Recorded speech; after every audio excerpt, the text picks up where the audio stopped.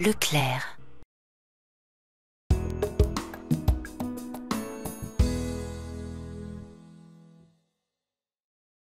Tout à fait. Donc euh, le CFA, euh, Centre de formation de la, Chambre de métier euh, de Caudry, depuis septembre, et à Solem, à Formatec, depuis, un peu plus de 10 ans.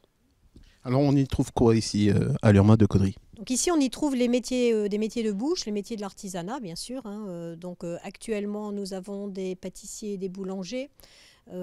sur, sur, plusieurs années, sur plusieurs années, des CAP, mentions complémentaires. Nous avons beaucoup de projets dans ce domaine sur les, on va dire l'année à venir.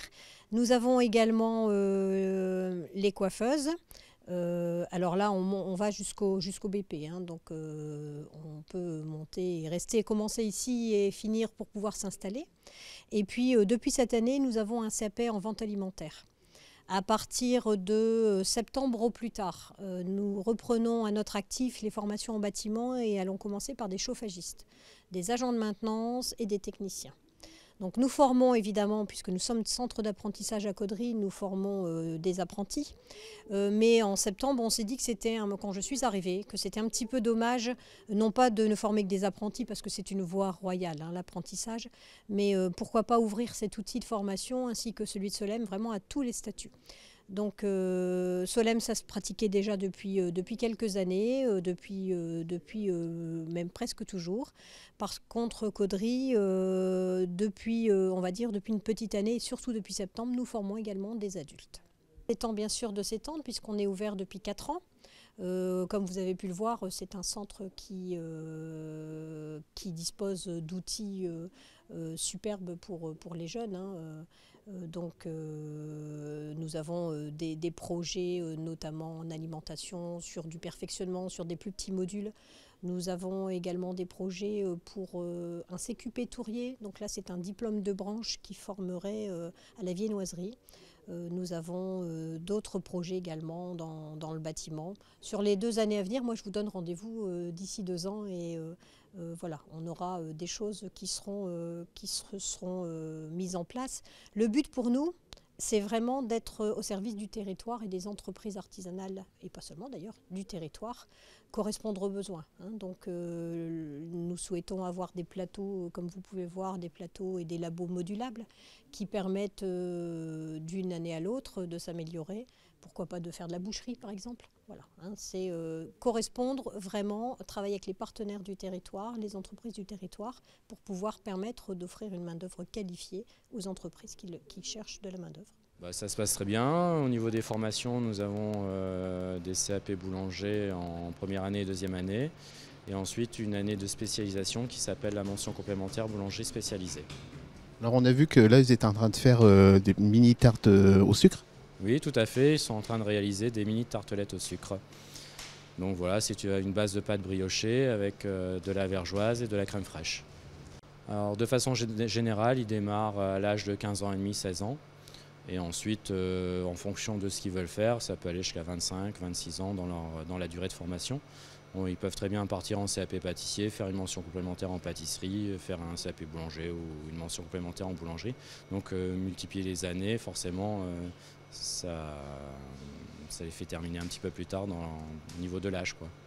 Donc dans la boulangerie c'est tous les pains, c'est tous les... Alors concernant le CAP, forcément, on voit les bases de la boulangerie. Donc c'est le pain courant français ou le pain de tradition française. Il y a une petite gamme, une petite gamme de pains spéciaux, donc le pain euh, de campagne, le pain de seigle, le pain complet, le pain de mie, le pain viennois.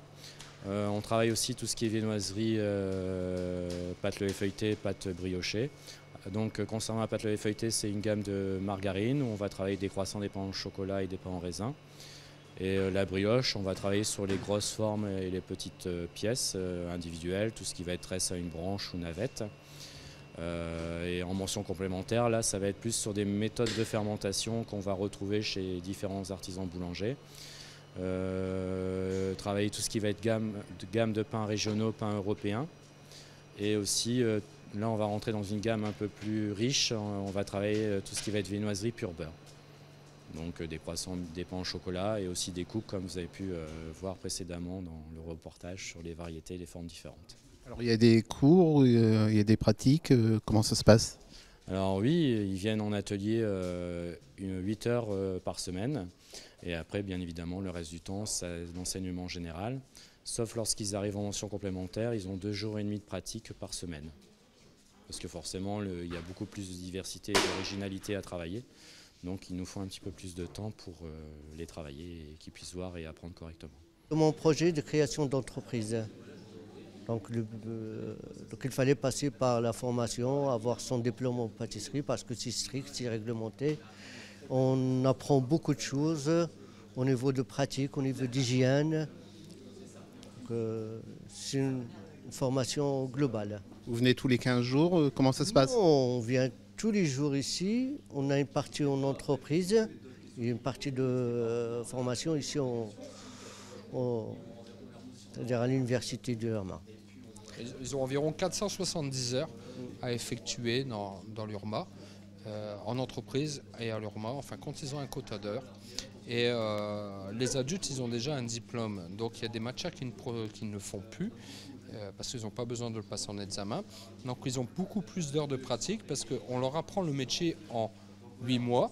Hein, en 8 mois, contrairement aux apprenants qu'ils apprennent en 2 ans.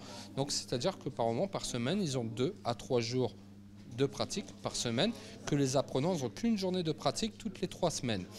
Donc c'est une formation accélérée. Donc on a de tout âge.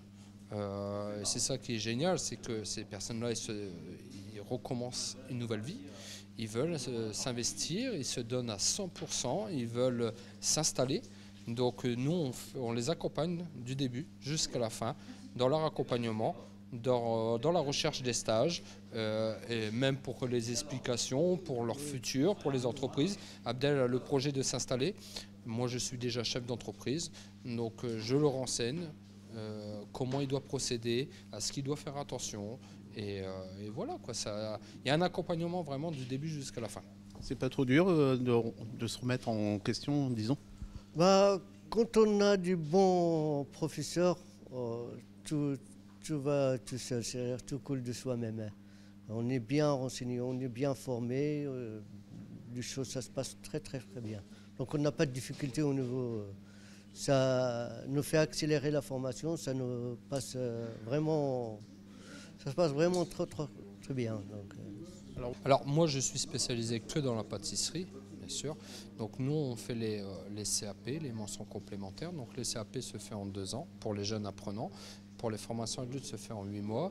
Et après, par la suite, ils peuvent continuer aussi dans leur diplôme, donc en mention complémentaire à l'URMA de Caudry.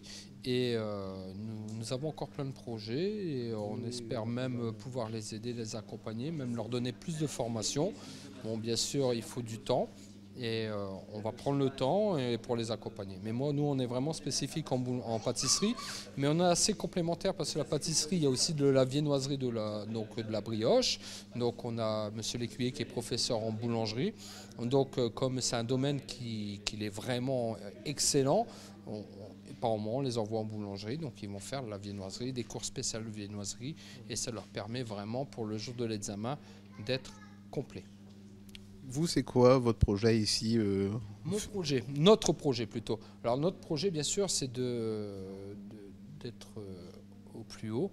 Euh, aujourd'hui, on a les CAP, on a les mentions complémentaires. Nous voudrons aussi avoir les CAP chocolatiers, pourquoi pas.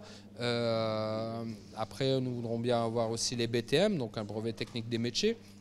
Bien sûr, c'est des projets, c'est des envies qui ne sont pas spécialement accordées parce que ça se calcule par rapport au nombre d'apprenants. Bien sûr, s'il n'y a pas beaucoup d'apprenants qui veulent faire ça, on ne peut pas ouvrir des sections. On ne peut pas non plus ouvrir des sections pour trois personnes. Nous sommes obligés d'ouvrir des sections pour des quantités énormes, c'est-à-dire à peu près 16 personnes, donc le minimum 12. Mais euh, après, nous, avons, nous envisageons aussi de faire des formations parce qu'aujourd'hui, on se rend compte qu'il euh, n'y a pas beaucoup de boulangeries qui font leur viennoiserie. Euh, c'est vraiment une polémie là-dessus. les viennoiseries surgelées, qu'on achète tout fait. Donc aujourd'hui, nous envisageons, avec la Chambre des métiers, d'ouvrir des formations en tourrier. Donc tourrier qui concerne à faire tout ce qui est viennoiserie, d'arrêter d'ouvrir des cartons et de qu'on le faire soi-même et qu'on revienne au traditionnel. Nous envisageons aussi d'aider euh, les, euh, les, artisans à, les accompagner à évoluer.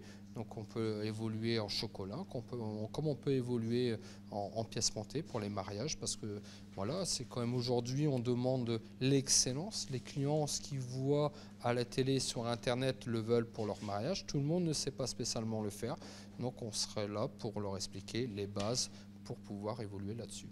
Formatrice en coiffure. Donc euh, la coiffure se fait euh, en 4 ans. Il y a 2 ans de CAP et 2 ans de BP. En fait, euh, il y a des nouvelles lois maintenant qui sont passées. Le contrat d'apprentissage peut se faire n'importe quand. En fait. Euh, Vous avez combien d'élèves ici Une trentaine en CAP et après en BP, ils sont une vingtaine. Donc vous êtes combien de professeurs euh, au niveau coiffure? On est deux, deux professeurs euh, pour la pratique et après il y a l'enseignement général euh, où ils sont plusieurs. L'alternance se fait en fait pour les CAP, c'est mardi, mercredi, jeudi tous les 15 jours et le reste du temps en entreprise. Et pour les BP, c'est le mardi, mercredi toutes les semaines. Enfin, une fois le mardi et la semaine suivante, mardi, mercredi, parce qu'ils ont, ils ont de la gestion en entreprise à faire. Est-ce qu'ils peuvent effectuer un concours ici de, coiffure? Oui, alors en fait, nous, dans notre programme, on met des concours en interne, donc avec des thèmes bien spécifiques, et euh, on les inscrit aussi euh, au concours de Cambrai, au concours régional, pour un début, et après, il y a d'autres concours qui se font euh, tout au long de, l'année scolaire. Vous, vos projets, c'est quoi alors ici aujourd'hui? Nos projets, bah, c'est de, former des jeunes et puis bah, de former aussi des chefs d'entreprise, quoi des futurs euh, chefs d'entreprise euh, qui nous prennent des apprentis aussi. Alors votre père était coiffeur euh, à Caudry, donc on connaît bien Christian Payen. Oui, tout à fait, mes parents étaient coiffeurs à Caudry. Donc vous, vous avez repris la relève, mais différemment. C'est ça, j'ai pris la relève différemment. Et donc maintenant, j'ai travaillé chez mes parents et puis pendant pas mal d'années, et j'ai voulu transmettre mon métier, donc devenir formatrice. C'est quoi la différence entre formatrice et coiffeuse en fin de compte? Bah, Il n'y a pas vraiment de différence parce que quand vous êtes euh, coiffeur, vous formez euh, en tant que maître d'apprentissage des jeunes. Et euh, à l'école, bah, formatrice, vous formez aussi des jeunes. Donc il n'y a pas de grande différence. Et vous préférez quoi? Moi j'aime bien les deux.